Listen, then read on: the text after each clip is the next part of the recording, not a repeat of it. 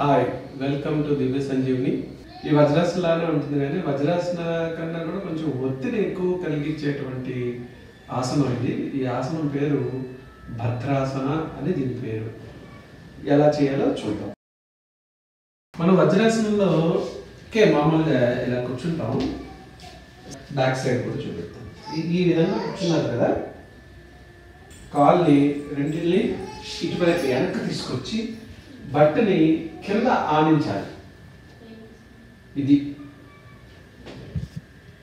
కింద ఆనించాలి బట్ట కింద ఆనించి ఈ విధంగా మీరు కూర్చోవాలి. అంటే కాళ్ళు దీన్ని డబుల్ పోజ్ అంటారు. ఎక్కువగా మనం చిన్నపిల్లలు ఎక్కువగా కూర్చుంటారు ఈ ఈ యొక్క ఇదిలో.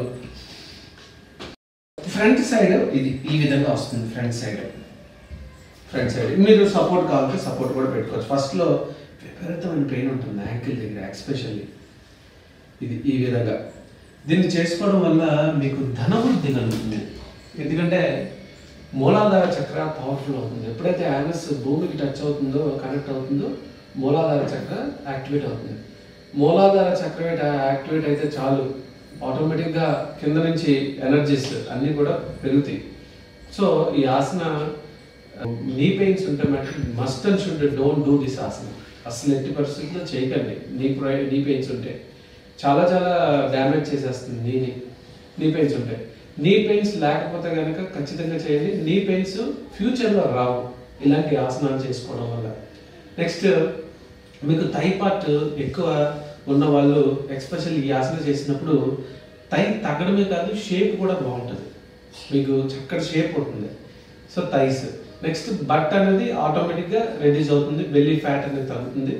ముఖ కాంతి పెరుగుతుంది. ఈ ఇది ఈ విధంగా మీరు ఇంకొకసారి ఈ విధంగా కూర్చోవాలి. కింద మీరు కుషన్స్ లాంటివి కూడా అరేంజ్ చేసుకోవచ్చు. కింద. కింద కుషన్స్ లాంటిది అరేంజ్ చేసుకోవచ్చు. చేసుకొని ఫ్రీగా కూర్చోవాలి ఇలా కూర్చొని మీరు ప్రాణాయామాస్ చేసుకోవచ్చు దీంట్లో.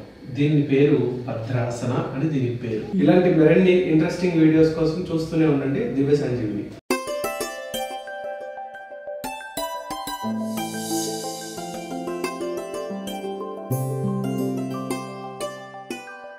ఈ వీడియో మీకు నచ్చినట్లయితే లైక్ మరియు షేర్ చేయండి. మీ అమూల్యమైన అభిప్రాయాన్ని కామెంట్ రూపంలో తెలియచేయండి. ఇలాంటి మరిన్ని వీడియోస్ కోసం మా ఛానల్ను సబ్స్క్రైబ్ చేసి పక్కనే ఉన్న గంట సింబల్ను నొక్కండి.